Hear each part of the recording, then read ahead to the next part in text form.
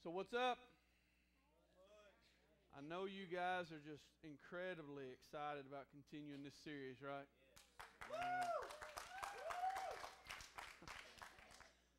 I know, uh, I know, yeah, beware of the one night stand. All right. All right, well, check this out. Here's the deal. Um, tonight's going to be a really busy night because I've got some really, really good information I've got to get to you, and then we're going to break off into our discussion group. So here's the deal. Guys in the back row, listen up. They've called you down. I'm not calling you down. It's either, it's either be quiet or hit the door. Okay? It's the way I feel. I love you with the love of Jesus, but I'm not here to babysit you. I'm not here to hold your hand. You're either going to listen by the word or you can leave. As for anybody else in here that wants a little bit of it too. Okay? All right.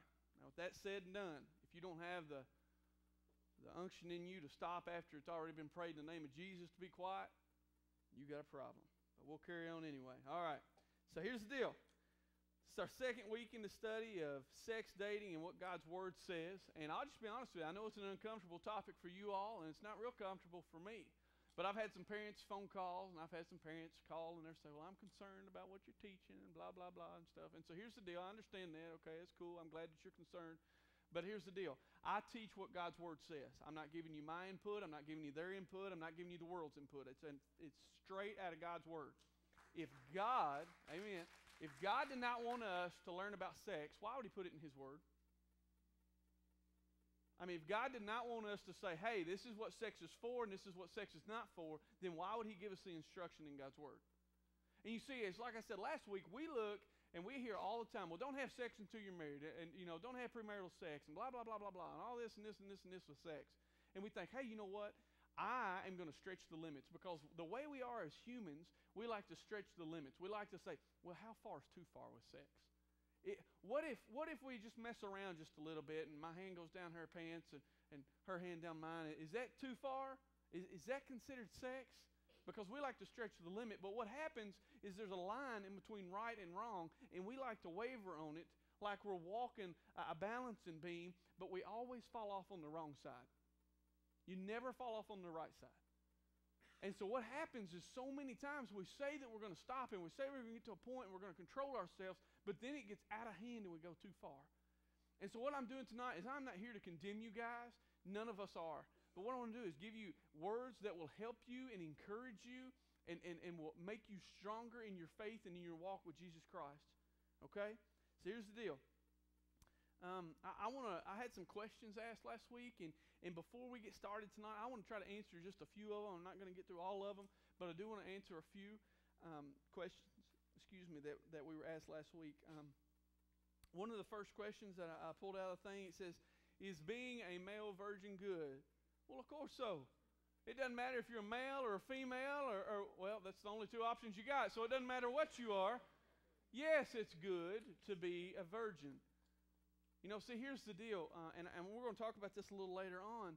When, when God designed sex, it wasn't saying, hey guys, hey young people, check this out. God has made sex and it's super special, so go as far as you can, and, but don't touch it because I'm trying to keep something back from you. God is saying, I have a gift for you and I want to give it to you, but the only way you're going to fully get this gift is if you wait until it's time to receive it growing up, my grandmother always used to give me savings bonds. Anybody know what a savings bond is? Probably most of you, you may, but you may not. Okay.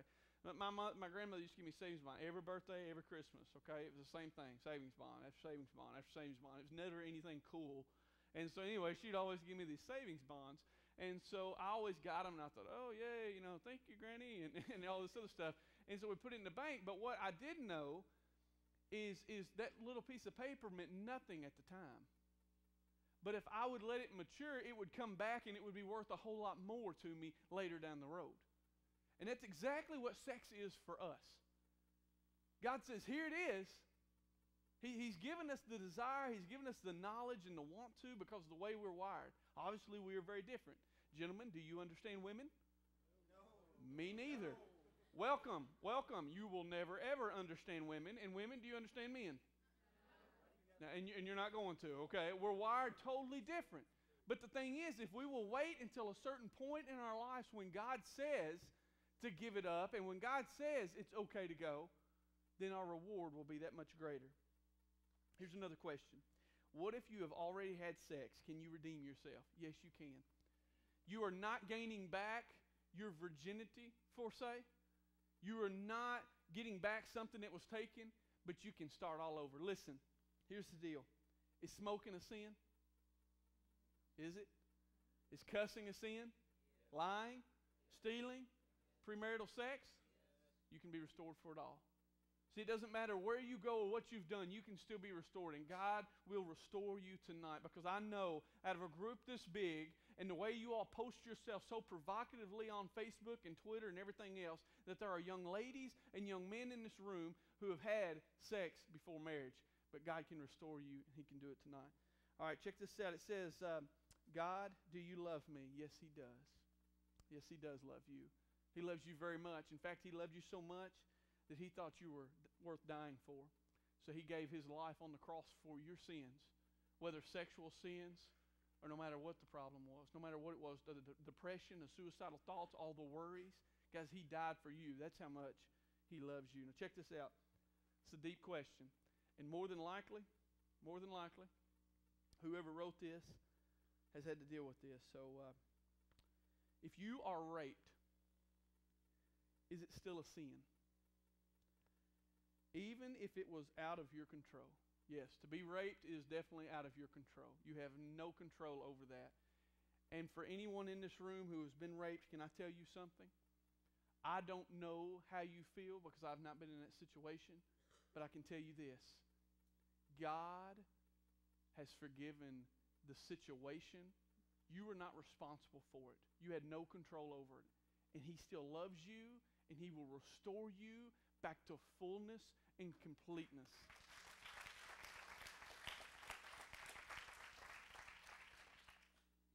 You have no control over that. And there's nothing that you could have done to have fixed it. So if you have been raped, if you have been molested, God still loves you and He has a purpose for you. And He totally understands that it was out of your control and, uh, and he's, he's already got that fixed. Now, check this out. It's a good question. It says, If you're single but you have Christ, what do you do when you need that earthly comfort? Well, here's the deal. When you're single and you're looking for some earthly comfort, I believe God gives that. Now, I guess it depends on how you read that question and how you take it, okay? We can take it as in the lovey dovey stuff, or we can take it as in just having somebody there. But can I tell you all something about sex that most people don't believe in your all's, your all's age group? In fact, most people in the world don't believe this. Sex is so much more than just a feel good. Sex is so much more than just, hey man, that pleased me and that pleased her and it's all over and we're done and we can go home. No. See, sex wasn't intended that way. When God developed sex, He said, you know what? Here's what it is. I want you all to have a deeper bond. Because the Bible actually says, and we're going to talk about this here in just a few minutes, the Bible actually says that when God designed man and woman, He designed two separate entities. But He realized that they needed to become one. And so it says that He says to leave your father and your mother. And if you've ever been to a wedding, you'll hear this. Most pastors use it. Says to leave your father and your mother and to unite as one. And when you unite as one, you are not only uniting as one in a bond of marriage, but you're doing it sexually, which also means that you are giving a whole lot more than just pleasure, but you are giving your heart. And that's the reason that premarital sex is wrong. Is because anytime it happens outside the, the bounds of marriage, it's not necessarily the fact that it's just sex, it's the fact that you're giving up something that you don't have to give anyway. You're giving up some, some sort of love that you say you have for this person, or some kind of something that you have that is special, not to mention your purity, and you are giving it up to somebody that really doesn't care about you, and more than likely, you don't care about them. And if you do, it's not going to be for very long because I guarantee you the guy's going to walk out and then you're going to be left crying and posting all over Facebook about it, right? Mm-hmm. See it every day. All right. Uh, last weekend or last week, I made the comment about homosexuality, and here's a question that came in. It says, "So, are you saying that all homosexuals go to hell because of the way they live their life, but liars and other people committing sins do not. No, I did not say that. Uh, sorry if that's the way you took it. Here's the deal. Same thing. Premarital sex is sin. Cussing is sin. Lying is sin. Stealing is sin. Homosexuality is sin. There's no difference in sin. God views sin all the same way. In fact, God views sin so much, He says lying is just as bad as murder. Wow. Now, how many people in here have murdered? How many people in here have lied? Some of y'all lying right now. Raise your hands up. Liars. All right, so check this out. We've all sinned. Homosexuality is a sin, but God can forgive that like He can every other sin. Just because they have walked into homosexuality doesn't damn them from hell. It's the sin that they continue to live in, and when they hear that it's something they can do about it and they refuse to change, that's what sends them to hell. There's no difference in us. Right now, you are hearing that Jesus Christ can save your soul and forgive you of all your sins. But if you continue to go out here and cuss like a sailor, you're just as bound as that homosexual is because you're controlled by something that is not really what you're supposed to be controlled by.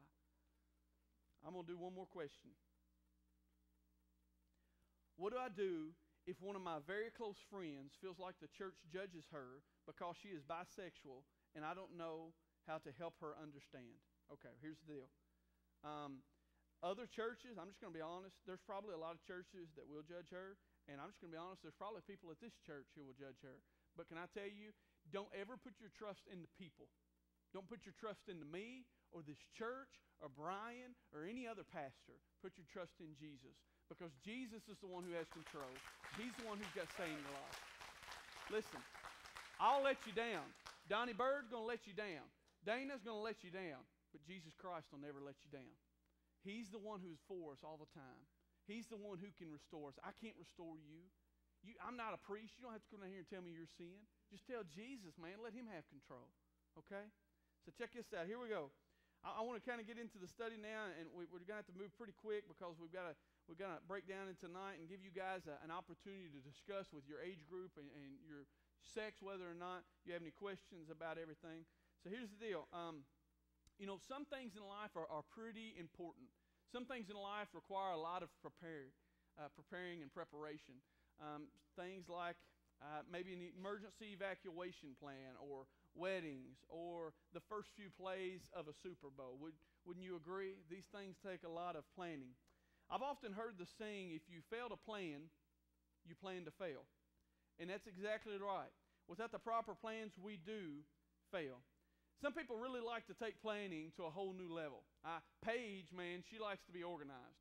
When she comes into my office, I won't find anything for a month because she literally takes my mess and turns it into whatever she calls it, some kind of beautiful, fabulous kind of whatever organization. And to me, I'm like, oh man, oh what, oh, I mean, because me, I mean, stuff's everywhere, but I know where it's at, you know. But I, I don't really, I just kind of fly by the seat of things. I'm like, oh, okay. Somebody comes up and like, hey, Daniel, here's an envelope. I'm like, thank you, man. I just lay it down on my desk and go on. But Paige is like, no, envelopes are here, papers are here, dollar bills are here, this goes here. And so I'm like, okay, all right. So I just go along with it. Eventually, you'll learn not to complain and just say, okay, okay. And so here's the deal we just go along. But she likes to organize, I do not. She likes to prepare, I'm just kind of ready for anything. And so a lot of people are like that. But guys, there's some things in life that it takes major preparation for. We prepare for ball games, we prepare for club events, we should prepare for tests, whether or not you do. But we should prepare for these big events.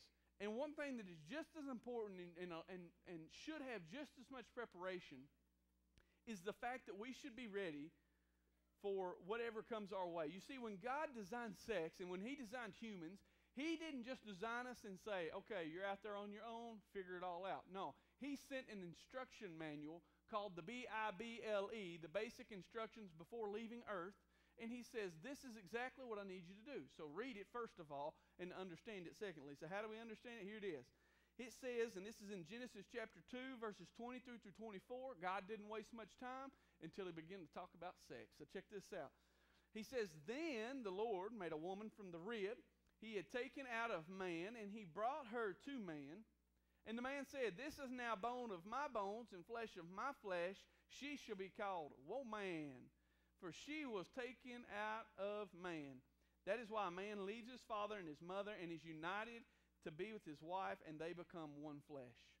I told you all ago that the reason we are supposed to leave the families that we are are with right now and eventually one day become one flesh as a man and a woman uh, bonded in marriage is because that's exactly what God wanted us to do.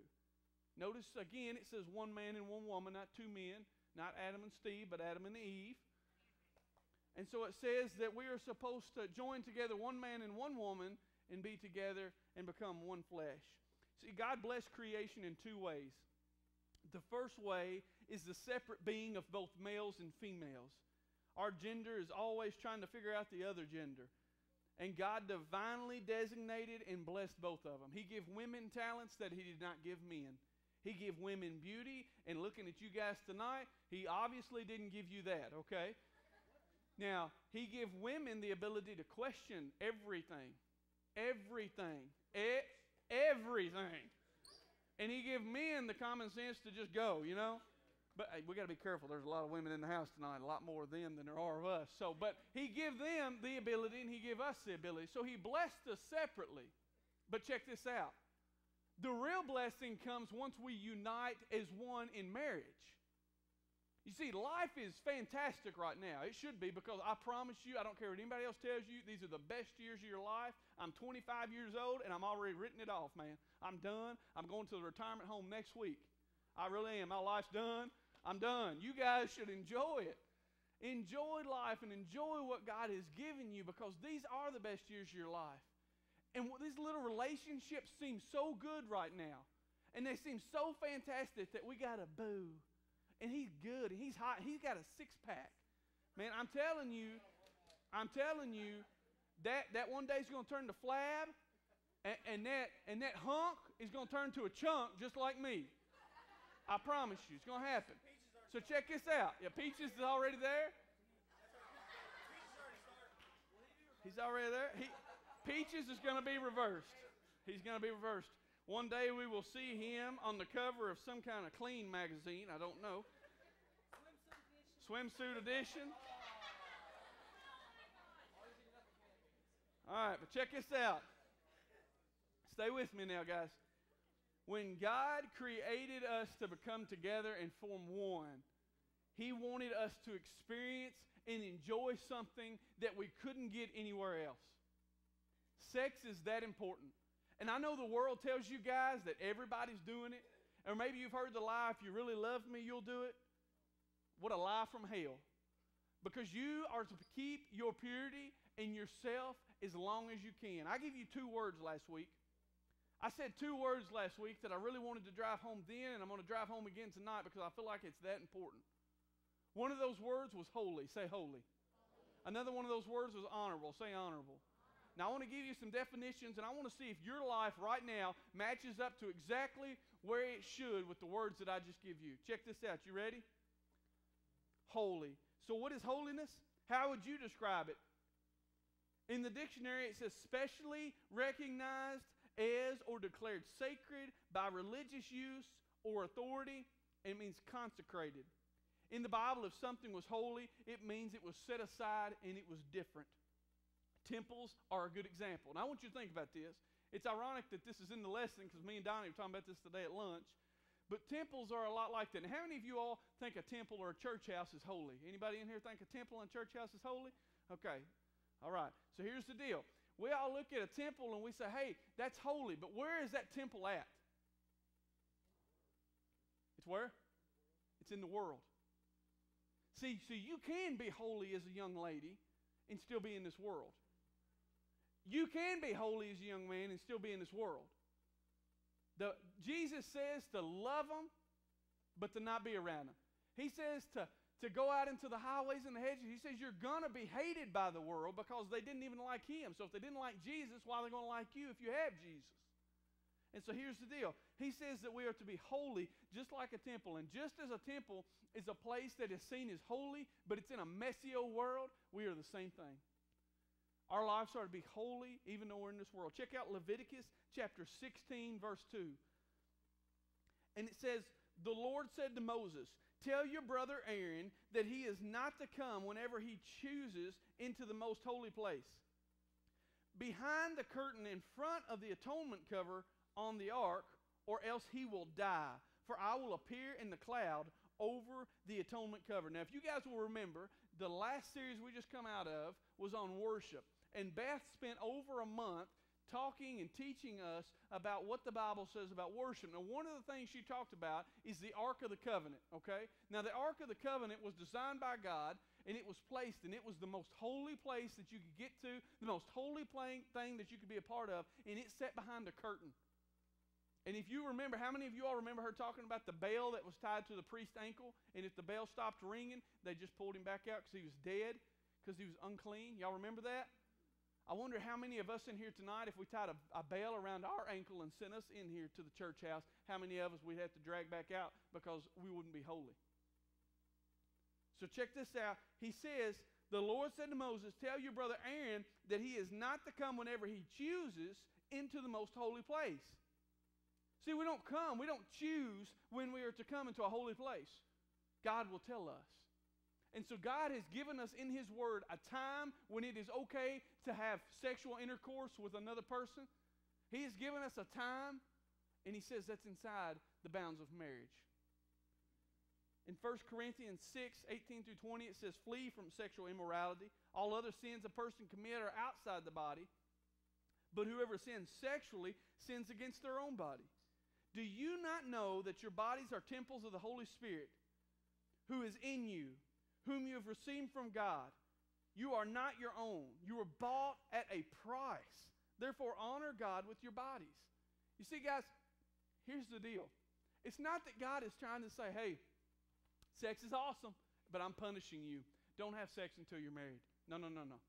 I've said this a thousand times, but I really want you to get it because God is saying sex is so great, sex is so awesome inside of marriage. If you will wait, I will double bless you double bless you.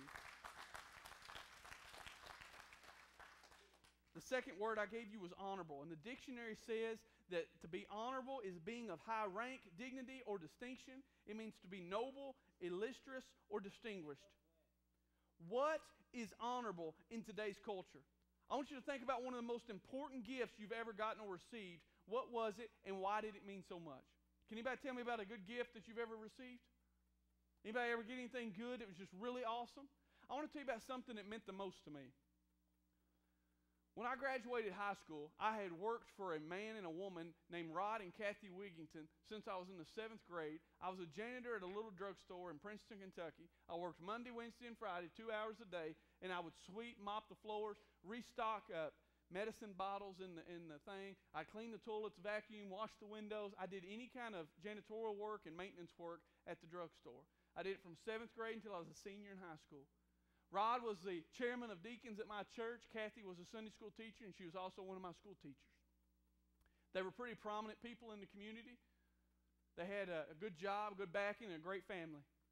And Orrin, did you know that when I graduated, I never will forget the day right before I graduated high school, Rod, my boss, walked up and he handed me $200 in cash which $200 for anybody nowadays, but especially a senior in high school, I was like, oh, heck yeah. You know, I had $200. But what his wife did, and, and, it was them as a couple, but what his wife did spoke so much more volume into my life because what Kathy did, and, and to some of you, this is not even going to resonate, but to me it was special because Kathy had a little bitty pot, a uh, uh, pottery dish that was handmade in the Caribbeans and it was a little bitty dish, literally about that size. And it was teal green and had a little fish on it. And she wrote on the back, one of a kind, because you truly are one of a kind. And, and that's, that's little. It probably didn't cost five bucks. But it meant so much because she gave from her heart to show me how much she loved me. She gave something small. It was a lot smaller than what her husband had give to me. But man, her gift spoke so much volume. And I still to this day have that dish.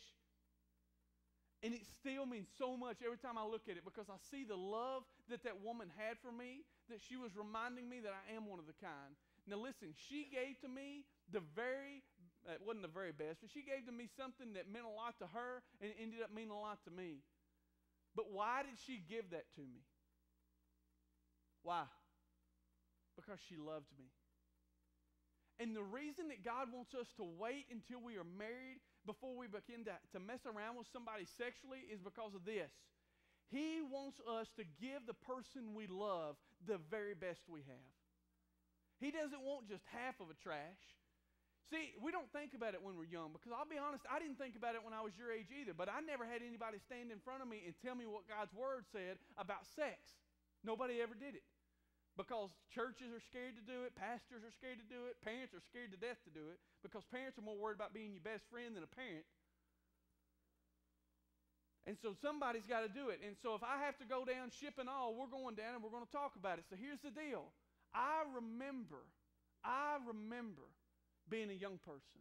I remember going through the temptations. I am still tempted. I'd be a liar if I told you I was never tempted to look at a young lady. I'd be a liar if I was tempted. I, I never had any kind of temptation to mess around. I would be a liar if I said that, that I didn't fail. I would be a liar if I said that stuff because here's the deal, guys. I struggle with it too. But I'm helping you out by giving you what God's Word says and how He says to, to point our direction to. So check this out. When it comes to, to being honorable, how many of us can say we are honorable? In 1 Corinthians chapter 7 verse 4 it says the wife does not have authority over her own body but yields it to her husband. In the same way the husband does not have authority over his own body but he yields it to his wife.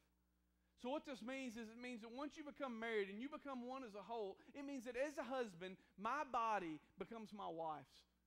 And as a whole, her, wife, or her body becomes mine. And it's not the fact you're saying, oh, yeah, yeah, I'm all yours, I'm all yours, and all this other stuff. No, it's the fact of God's word says that we are to wait till that special moment so that I can get there and I can say, I give you the very best. Now, I told you before, most of you have heard my story about how I messed up and how one day, and Paige already knows this because we talked about it a long time earlier, okay? But uh, one day I'm not going to be able to give her my best because I give it up to some, some girl a long time ago. But one day she'll be able to give me her best because she has waited and she has held on. Now, I would sure hate to know that the person I say I love so much, enough that I'm going to be in the bonds of marriage with, is not going to be able to give me something because they love me so much that they're going to be giving me secondhand stuff. And I'm going to get real, real with you, and I'm going to speak to you real for a minute because this will get your attention. I want you to hang on to it. Young ladies, can I tell you something? If you are messing around with a boy, and he more than likely has been messing around with somebody else, and you have sex with him, did you realize you just had sex with her too? And all the other girls that he's had sex with? Not to mention all the guys that they've had sex with and all the girls that they've had sex with. So I'm not really good at math, but if we were to do the math and we take somebody who's sexually active with one another and a couple of people, before long we begin to spread out. We slept with the whole daggone community. And that's why STDs are so rampant. That's why everybody's eat up with every kind of stuff that even Ajax won't take off. 409 ain't going to have a bit of luck. Because, guys, this stuff, this stuff is messing our lives up. And it's not that using a condom and birth control is going to fix it. It's daggone it, being abstinent and saying no is going to fix it.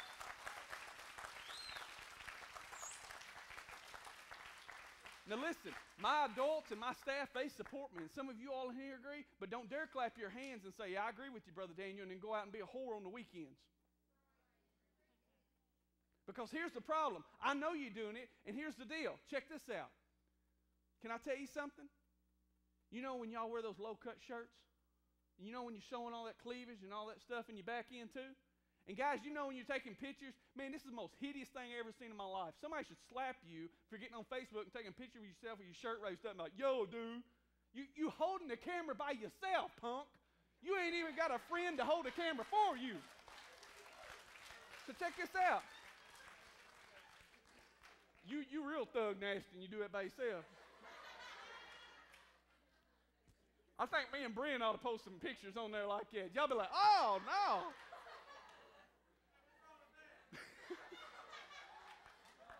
But check this out. Can I tell you something? Stay with me. Stay with me. Check this out. When you do that, when gentlemen, when you post pictures of your bare stomach, and I'm being honest, and girls, when you showing cleavage and you showing off everything that you know God has given you, when you do that, you know what you are telling the other, the opposite sex? Hey, I care more about the way you look at my body than I do the way you feel about my heart. That's true. That is a true word right there. You're saying I am more worried about the way you look at me sexually than the way you feel about me emotionally. And let me tell you something. Sex is it may feel good right now, but one day sex what, uh, isn't going to be what's going to keep a marriage together. Sex is not what's going to be keeping somebody strong through it all. Because in the generation we live in today, how many of y'all come from a, a split home, a broken home? Check this out. Look around. Check this out. All right, can I, can I tell you something? I'm not downing anybody, man. I love everybody. I love you guys. But here's the deal. You know why marriages fail today? It's because I do, for better and for worse, for sickness and in health, for richer, for poor, has turned into I do for when it's comfortable until I get tired. And that is unacceptable in the eyes of God, and that should be unacceptable in our eyes as well. And so the reason I tell you this stuff and the reason I'm so passionate about it and the reason we're doing a whole sex and dating series is because, guys, I want you to guard yourself. So I'm going to give you some tips real quick, and I'm just going to preach just free for a minute, okay? Beth, if you want to, you can come on up. I'm not going to promise I'm going to shut up, but you can come on up and we'll start playing, okay? So here's the deal. Check this out and stay with me. Gentlemen, when you're with her or whoever, you should treat her like she's God's daughter. And young ladies, you should treat him like he's God's son. And I promise you, if you'll start looking at her and looking at him that way, everything will change. Can I tell you something? People say, well, how do I do it? How do I stay strong? Can I tell you, man, it's going to sound crazy. I was a student at, at Campbellsville University for three years. I lived in the dorm for one of those. Our rule in the dorm was you could only have the opposite sex inside of your dorm, uh, like I think one day a week or something. I don't know, maybe one, two, something like that. And they had this rule that I thought was so stupid. Now, I was a Christian. I was even going to school to be a minister, but I thought this rule was stupid. And here's why I thought it was stupid is because I was thinking wrongly. But they had this rule that says all feet must be touching the floor at all times. No laying down. Now, how stupid does that sound? But you know, I get older and I realize, and I'm like, man, they were just trying to protect us. They had what was best in mind for us. They were saying, hey, you know what, Johnny? You don't want to be tempted with that girl that's looking real fly sitting next to you. You don't want to mess up and lay down with her and have sex with her. Here's how to fix it don't lay down. That's right. Don't turn off the lights. Don't be getting all huggy feely.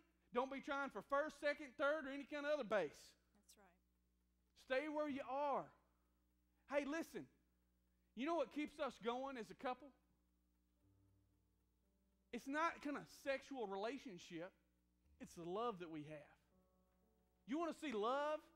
It's not in the back seat on a Friday night. It's the emotional togetherness that you have to where I can finish her sentences, she can finish mine. It's the emotional togetherness that we have that when we laugh at the silliest, daggone, goofiest things, even if it means me running up and down through the living room, acting, acting a little crazy, but, but when we have fun, when we're together as a couple, it's the true love that gets us through, not some kind of messing around with somebody just to prove a point. And so you say, How do I be strong? Daniel, I don't understand. I'm in a relationship right now. What is it that I need to do to be strong? Can I tell you there's a few things? First of all, is exactly what I told you. Don't put your feet on the ground. If you're watching something, well, that's silly. That's stupid. Uh, we're just going to kiss. You know what? I used to tell them, I say, hey, girl, all we're going to do in this relationship, kiss. Yeah, right. Hey, girl, I promise, we ain't going no farther. We ain't going no farther than kissing. That was a lie. Maybe I didn't mean for it to be, but that's what it was. Because I just continued to open door after door after door after door after door until I got what I wanted. And it's just like I told you all last week. They will tell you everything under the sun just to have a little bit of what you've got because that's all they think about. I'm just going to be honest with you. That's all they're thinking about. Sex. Sex, sex, sex. Girls are like, oh, love me. Let's watch a sweet movie. Guys are like, hey, girl, can I lay you? I, that's the truth. I know because I walk through those shoes. I, am be, I'm being real, but if it takes me being real and pouring out my heart to help somebody keep their innocence, right. daggone it, I'll do it all day long. So, guys, here's the deal. God designed you with a purpose and a plan, and that is to remain pure and to remain holy. And it doesn't matter where you are or what you've done to mess up. It doesn't matter what footsteps you've been through. It doesn't matter any of that. But what it does matter is this that you understand right now, right where you are, girls, listen, right where you are right now, no matter what you've done, no matter what way you've messed up or who has done something to you, God has forgiven you and He is asking you to come to Him and to start all over again. I know there's some of you in here now that are no longer virgins, both guys and girls. And unfortunately, in today's society, we walk around like that's something to be proud of, but really it's not. But I'm telling you that tonight you can come forward and ask for forgiveness. Now, listen, it's not that God is sitting here and He's condemning you, saying, hey, man, you done had a baby. Hey, listen, you've had sex. I'm mad at you. I'm done with you. I'm not going to do anything good through you. Everybody hates you. Church people look at you like you're really weird. Church people condemn you. Can I tell you, you're probably right. Church people probably have condemned you, but a true follower of Jesus should not. If you are a young lady in this room and you have a child, can I tell you something? God is not angry at you. I'm not angry at you. This church is not angry at you. We want what's best for you. God can forgive you. And let me tell you something. I don't care what anybody else may tell you. Maybe your parents have said this. Maybe the world has said this. That baby is not a mistake. What you did was a mistake, but that baby's not a mistake. And there is hope for that child. God has a plan for that child, and He has a plan for you too. And so, guys, listen. This altar's open. And if you need to pray, if you need to ask to be restored, maybe you just want to come talk to somebody. Now's the time to do it. I'm going to give you just a couple of minutes and then we're going to be dismissed to our discussion groups. But here's the deal it's so much more than just me getting red in the face and up here telling you not to have sex until you get married because you could catch some kind of STD. Who cares? Don't have sex at all and you ain't got to worry about it. But here's the deal I'm trying to protect your heart. Because if having sex, Chaz, outside of marriage is a different sin, it's our heart we're trying to protect. That's right. And so, guys, that's what I'm here for. I'm here to protect your heart. Would you pray with me? Father God, Lord, thank you, Jesus, for being here. God, I thank you for moving. God, I know right now you're doing a good work in somebody's life. Whether a young lady or a young man, Lord, you are restoring hearts right now. You're restoring lives. And Father God, I pray that wherever they have been, whatever they have done, Lord, that they may feel your forgiveness come upon their life. And God, I pray that you would continue to work in a mighty way. And no matter what, no matter what, Lord, Father God, I pray for a hedge of protection around each and every young lady that is under the sound of my voice.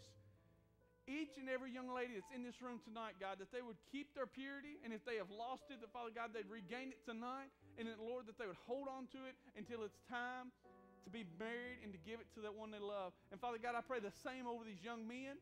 Lord, I pray, I know the temptations are hard, but Father God, when you take it away from them, Lord, at least lighten their load just a little bit. And Father God, I pray that they would be leaders instead of forcers. Father God, they'd lead these young ladies in a relationship with you instead of leading them to bed. And so, God, thank you, Jesus, for loving us. And ask all this in your name.